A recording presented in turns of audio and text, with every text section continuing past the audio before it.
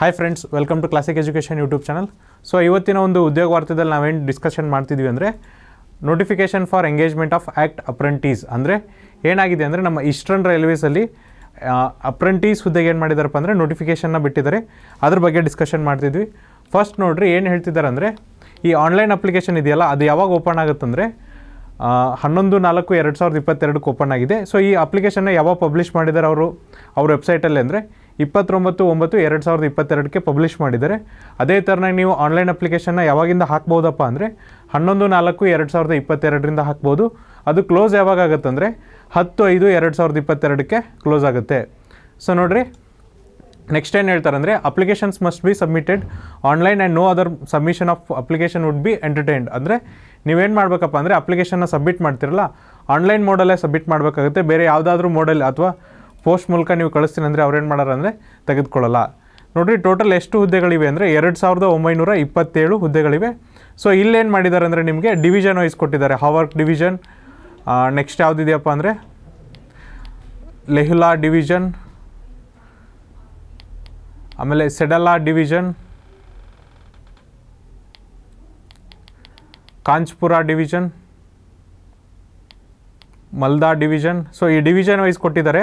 So ನೋಡಿರಿ division wise changes ಇದೆ. But ಏನಪ್ಪ ಅಂದರೆ, ನಿಮಗೆ ಟೋಟಲ್ ಆಗಿ ಹುದ್ದೆಗಳು ಇರೋದೆಷ್ಟಂದರೆ ಎರಡು ಸಾವಿರದ ಒಂಬೈನೂರ ಇಪ್ಪತ್ತೇಳು ಹುದ್ದೆಗಳಿವೆ. ಸೊ ಈ ಹುದ್ದೆಗಳಿಗೆ ನೀವೇನಪ್ಪ ಅಂದರೆ ಎಲಿಜಿಬಲ್ ಆಗಿ ಅಪ್ಲೈ ಮಾಡ್ಬೋದು. ಯಾರ್ಯಾರೆಲ್ಲ ಅಪ್ಲೈ ಮಾಡ್ಬೋದು ಅಂದರೆ, ಇಲ್ಲೆಲ್ಲ ಕೊಟ್ಟಿದ್ದಾರೆ ನೋಡಿರಿ, ಅವರೆಲ್ಲ ಅಪ್ಲೈ ಮಾಡ್ಬೋದು. ಸೊ ಫಸ್ಟು ಏನು ಮಾಡೋಣ ಅಂದರೆ ಏಜ್ ಲಿಮಿಟ್ ನೋಡೋಣ. ಎಷ್ಟು ಏಜ್ ಲಿಮಿಟ್ ಇದೆ ಅಂದರೆ candidate should have attended or completed the fifteen years of age and should not be completed twenty four years of age the age recorded on your matriculation certificate issued by government recognized board or authority or the birth certificate issued by government hospital or government government recognized authority shall only be recognized for the purpose so ಏನಂದರೆ ನಿಮಗೆ age ಎಷ್ಟಿರಬೇಕಪ್ಪ ಅಂದರೆ minimum ಇಪ್ ಹದಿನೈದು ವರ್ಷ ಇರಬೇಕು maximum ಇಪ್ಪತ್ನಾಲ್ಕು ವರ್ಷ ಇರಬೇಕು. ಸೊ ಈ ಏಜ್ ಲಿಮಿಟ್ ಏನಿದೆಯಲ್ಲ ಏಜ್ ಇದೆಯಲ್ಲ, ಇದು ಯಾವುದನ್ನು ಕನ್ಸಿಡರ್ ಮಾಡ್ತಾರೆ ಅಂದರೆ ಈ ಗೌರ್ಮೆಂಟ್ ಇಶ್ಯೂ ಮಾಡೋದು ಅಥವಾ ನಿಮ್ಮ ಟೆಂತ್ ಸರ್ಟಿಫಿಕೇಟಲ್ಲಿ ಏನಿದೆಯಲ್ಲ, ಅದ್ರ ಅದ್ರ ಮೇಲೆ ಇಶ್ಯೂ ಮಾಡ್ತಾರೆ. ಅಥವಾ ಯಾವುದಾದ್ರೂ ಗೌರ್ಮೆಂಟ್ ರೆಕಗ್ನೈಸ್ಡ್ ಅಥಾರಿಟಿಯಿಂದ ನಿಮ್ಗೆ ಏನಾದರೂ ಡೇಟ್ ಆಫ್ ಬರ್ತ್ ಕೊಟ್ಟಿದ್ರು ಕೂಡ ಅದನ್ನು ರೆಕಗ್ನೈಸ್ ಮಾಡ್ತಾರೆ. ಸೊ ಎಷ್ಟಂದರೆ ಹದಿನೈದರಿಂದ ಇಪ್ಪತ್ತೈದು ವರ್ಷ. ಹದಿನೈದರಿಂದ ಇಪ್ಪತ್ನಾಲ್ಕು ವರ್ಷ. ಸೊ ಏನು ಎಜುಕೇಷನ್ ಕ್ವಾಲಿಫಿಕೇಷನ್ ಇದೆ ನೋಡ್ರಿ. Candidate must have pass the tenth examination or its equivalent under ten plus two examination with minimum fifty percent marks in aggregate from recognised board and also have should possess a national trade certificate in notified trade issued by N C V T or S C V T so ಏನು ಮಾಡಿರ್ಬೇಕಂದ್ರೆ ಅಭ್ಯರ್ಥಿಗಳು ಹತ್ತನೇ ತರಗತಿ ಅಥವಾ S S L ಸಿನ pass ಆಗಿರಬೇಕು ಅಥವಾ ಅದ್ರ ಇಕ್ವಲೆಂಟ್ ಟೆನ್ ಪ್ಲಸ್ ಟು ಪ್ಯಾಟರ್ನಲ್ಲಿ ಯಾವ್ದು ಬರುತ್ತಲ್ಲ ಅದನ್ನು ಪಾಸ್ ಆಗಿರಬೇಕು. ಇಲ್ಲಿ ನಿಮ್ಮ ಮಿನಿಮಮ್ ಮಾರ್ಕ್ಸ್ ಎಷ್ಟಿರಬೇಕಪ್ಪ ಅಥವಾ ಪರ್ಸೆಂಟೇಜ್ ಎಷ್ಟಿರಬೇಕಂದ್ರೆ ಐವತ್ತು ಪರ್ಸೆಂಟ್ ಮಾರ್ಕ್ಸ್ ಇರಬೇಕಾಗುತ್ತೆ. ಜೊತೆಗೆ ನೋಡಿರಿ, ಇದ್ರ ಜೊತೆಗೆ ನೀವು ಏನು ಹೊಂದಿರಬೇಕಂದ್ರೆ, ಯಾವ ವೃತ್ತಿಯಲ್ಲಿ ನಿಮಗೆ ಅಪ್ರೆಂಟಿಸ್ನ ಕರೆದಿದ್ದಾರಲ್ಲ ಆ ವೃತ್ತಿದು ನಿಮ್ಗೆ ಏನಿರಬೇಕಪ್ಪ ಅಂದರೆ ನ್ಯಾಷನಲ್ ಟ್ರೇಡ್ ಸರ್ಟಿಫಿಕೇಟ್ ಇರಬೇಕಾಗುತ್ತೆ. ಯಾವ ಸರ್ಟಿಫಿಕೇಟ್ ಇರಬೇಕಾಗುತ್ತೆ? ನ್ಯಾಷನಲ್ ಟ್ರೇಡ್ ಸರ್ಟಿಫಿಕೇಟ್ ಇರಬೇಕಾಗುತ್ತೆ. ಇದನ್ನು ಯಾರು ಇಶ್ಯೂ ಮಾಡ್ತಾರೆ ಅಂದರೆ ಎನ್ ಸಿ ವಿ ಟಿ ಅಥವಾ ಎಸ್ ಸಿ ವಿ ಟಿ ಅವರು ಇಶ್ಯೂ ಮಾಡ್ತಾರೆ. ಸೊ ಯಾವ್ಯಾವ ಟ್ರೇಡಿಗೆ ಕರೆದಿದ್ದಾರೆ ನೋಡಿರಿ, ಇಲ್ಲಿ ಕೊಟ್ಟಿದ್ದಾರೆ. Welder sheet metal worker lineman wireman carpenter printer so ಇದಕ್ಕೆಲ್ಲ ಏನಪ್ಪ ಅಂದರೆ ಹುದ್ದೆಗಳಿವೆ. ಸೊ ಇದಕ್ಕೆಲ್ಲ ಏನಂದರೆ ಟೆಂತ್ ಕ್ಲಾಸ್ ಎಜುಕೇಷನ್ ಕ್ವಾಲಿಫಿಕೇಷನ್ ಇದೆ, ಬೇರೆದಕ್ಕೆಲ್ಲ ಟೆಂತ್ ಇದೆ.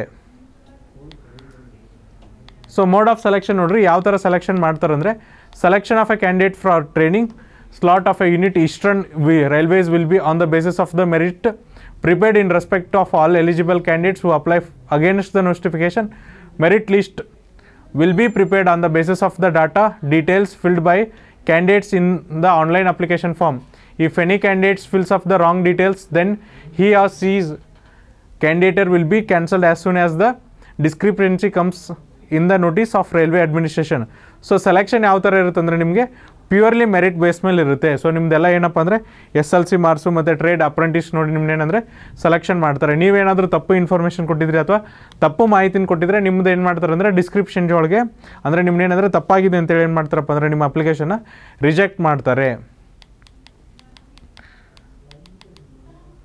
ಸೊ ಇಲ್ಲಿ ಯಾವುದೇ ಥರನಾದಂಥ ಎಕ್ಸಾಮಿನೇಷನ್ ಇರಲ್ಲ ನಿಮಗೇನಪ್ಪ ಅಂದರೆ ಜಸ್ಟ್ ಮೆರಿಟ್ ಮೇಲೆ ಸೆಲೆಕ್ಟ್ ಮಾಡ್ತಾರೆ. ಸೊ ಈ ಅಪ್ಲಿಕೇಶನ್ ಫೀಸ್ ಎಷ್ಟಿದೆ ಅಂದರೆ application fees R S hundred rupees only no fee however will be paid for the S C S T P W D women candidates so ನೋಡಿರಿ, ನೀವೇನಾದರೂ ಸಾಮಾನ್ಯ ಅಭ್ಯರ್ಥಿಗಳಾಗಿದ್ದರೆ ಅಥವಾ O B C ಅಭ್ಯರ್ಥಿಗಳಾಗಿದ್ದರೆ ಅಥವಾ economically weaker section ಅಭ್ಯರ್ಥಿಗಳಾಗಿದ್ದರೆ ನಿಮಗೆ ಎಷ್ಟು fees ಇರುತ್ತಪ್ಪ ಅಂದರೆ ನೂರು ರೂಪಾಯಿ ಫೀಸ್ ಇರುತ್ತೆ. ಇನ್ ಕೇಸ್ ನೀವೇನಾದರೂ ಎಸ್ ಸಿ ಎಸ್ ಟಿ ಮತ್ತು ವಿಕಲಚೇತನರು ಮತ್ತು ಮಹಿಳಾ ಅಭ್ಯರ್ಥಿಗಳಿದ್ದರೆ ನಿಮಗೆ ಯಾವುದೇ ಥರನಾದಂಥ ಅಪ್ಲಿಕೇಶನ್ ಫೀಸ್ ಇರಲ್ಲ. ಆಮೇಲೆ ನೀವು ಪೇಮೆಂಟ್ನ ಯಾವ ಥರ ಪೇ ಮಾಡ್ಬೋದು ಅಂದರೆ ಆಫ್ಲೈನ್ ಅಥವಾ ಆನ್ಲೈನ್ ಪೇ ಮಾಡಬೇಕಾಗುತ್ತೆ. ಆನ್ಲೈನಲ್ಲೇ ಪೇ ಮಾಡಬೇಕಾಗುತ್ತೆ. ಅದು ನೀವು ಯಾವ ಥರ ಮಾಡಬೇಕಪ್ಪ ಅಂದರೆ debit card, credit card, internet ಬ್ಯಾಂಕಿಂಗ್ನ ಯೂಸ್ ಮಾಡ್ಕೊಂಡು ನೀವೇನಂದರೆ ಪೇ ಮಾಡಬೇಕಾಗುತ್ತೆ. ಸೊ ಹೌ ಟು ಅಪ್ಲೈ ಯಾವ ಥರ ಅಪ್ಲೈ ಮಾಡ್ತೀರ ಅನ್ನೋದಕ್ಕಿಲ್ಲ ನೋಡಿರಿ. ಕೊಟ್ಟಿದ್ದಾರೆ ಏನಂದರೆ the candidates are required to apply online by visiting the link provided on the notice board of official website of R R C E R Kolkata they must go through the detail instruction before filling of the online applications so ನೀವೇನಂದರೆ application ಆನ್ಲೈನೇ ಹಾಕಬೇಕು. ಅದಕ್ಕಿಂತ ಮುಂಚೆ ನೀವೇನು ಮಾಡಬೇಕಪ್ಪ ಅಂದರೆ, ಅವರ official website ಆದಂಥ R R C R ಕೋಲ್ಕತ್ತಾಗೆ ಹೋಗಬೇಕು. ಅಲ್ಲೇ ನಿಮಗೆ ಏನಪ್ಪ ಅಂದರೆ ಲಿಂಕ್ ಕೊಟ್ಟಿದ್ದಾರೆ. ಆ ಲಿಂಕ್ ಯೂಸ್ ಮಾಡ್ಕೊಂಡು ನೀವೇನಂದರೆ ಆನ್ಲೈನ್ ಅಪ್ಲಿಕೇಶನ್ನ ಹಾಕ್ಬೋದಾಗಿದೆ.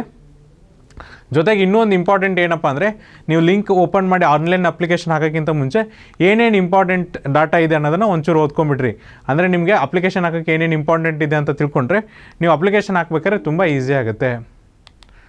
ಸೊ ಇದಿಷ್ಟೇನಪ್ಪ ಅಂದರೆ ಯಾವ ಥರ ಯಾವ್ಯಾವ ಹುದ್ದೆಗಳಿವೆ ಮತ್ತು ಏನಪ್ಪ ಅಂದರೆ ಎಷ್ಟು ಹುದ್ದೆಗಳಿವೆ, ಅದಕ್ಕೆ ಎಜುಕೇಷನ್ ಕ್ವಾಲಿಫಿಕೇಷನ್ ಏನು, ಯಾವ ಥರ ಅಪ್ಲಿಕೇಶನ್ ಫೀಸ್ ಇರುತ್ತೆ, ಏನು ಏಜ್ ಲಿಮಿಟ್ ಇದೆ ಅನ್ನೋದನ್ನು ಡಿಸ್ಕಸ್ ಮಾಡಿದ್ವಿ. ಇನ್ ಕೇಸ್ ನಿಮಗೆ ಈ ನೋಟಿಫಿಕೇಷನಲ್ಲಿ ಏನಾದರೂ ಡೌಟ್ ಇದ್ದರೆ ನಾವೇನು ಮಾಡಿರ್ತೀವಿ, ನಮ್ಮ ಡಿಸ್ಕ್ರಿಪ್ಷನ್ ಬಾಕ್ಸಲ್ಲಿ ಅಫಿಷಿಯಲ್ ನೋಟಿಫಿಕೇಷನ್ ಅಥವಾ ಪಿ ಡಿ ಎಫ್ ಲಿಂಕ್ ಕೊಟ್ಟಿರ್ತೀವಿ. ಅಲ್ಲಿ ನೀವೇನು ಮಾಡಿದರೆ ಕ್ಲಿಕ್ ಮಾಡಿದರೆ entire P D F download ಆಗುತ್ತೆ. ಅಲ್ಲಿ ನಿಮ್ಮ ಡೌಟ್ಸ್ನ ಕ್ಲಾರಿಫೈ ಮಾಡ್ಕೊರಿ. ನೆಕ್ಸ್ಟ್ ಉದ್ಯೋಗ ವಾರ್ತೆಯಲ್ಲಿ ಇನ್ನೊಂದು ರಿಕ್ರೂಟ್ಮೆಂಟ್ನ ಡಿಸ್ಕಸ್ ಮಾಡೋಣ. ಅಲ್ಲಿವರೆಗೂ ನೋಡ್ತಾ ಇರಿ Classic Education YouTube channel Thank you.